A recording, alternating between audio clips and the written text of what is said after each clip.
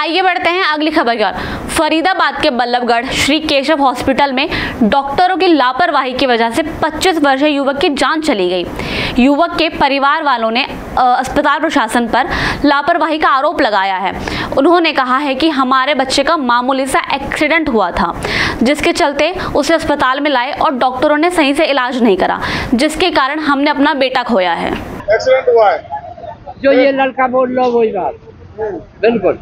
तो सर अस्पताल में क्या हुआ? और अस्पताल में इन्होंने लापरवाही करी। ना यहाँ कोई डांग धन नहीं वैसे उल्टी सूजी इंजेक्शन जाने नहीं कुछ नहीं।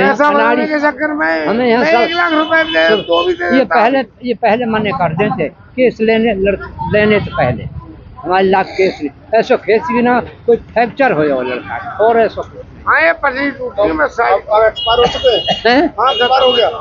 हाँ। आपके सामने तो क्या चाहते हैं? अब लड़का गया सही आपके सामने। और क्या हुआ है? आपके पोते के साथ क्या हुआ है? कल सवेरे अपने ससुराल गया हुआ कि बहू चली गई दस बारह दिन पहले। यहाँ ये ससुराल आदर्श नगर में। वो घर गया हो कच मेरे पैसा से। उन्हें मांगने को गया हो दारू तुमने पीरा की होगी देखो मैंने नहीं देखी।